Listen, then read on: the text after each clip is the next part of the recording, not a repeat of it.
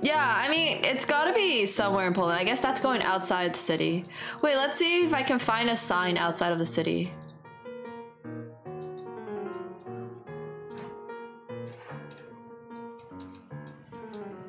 Krasnystaw.